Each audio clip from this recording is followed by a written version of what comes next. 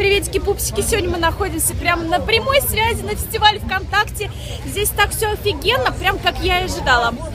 А сейчас мы направляемся, конечно, к жратве, потому что это основное, зачем мы сюда пришли.